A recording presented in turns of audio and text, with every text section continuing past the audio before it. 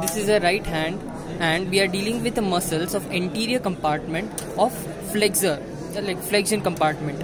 From medial side to lateral side, we are dealing one by one. This is uh, flexor carpi ulnaris. This is uh, flexor digitorum superficialis with the four tendons.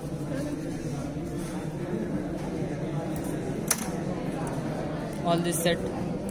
This is uh, palmaris longus. This is uh, flexor carpi radialis. And this is pronator teres.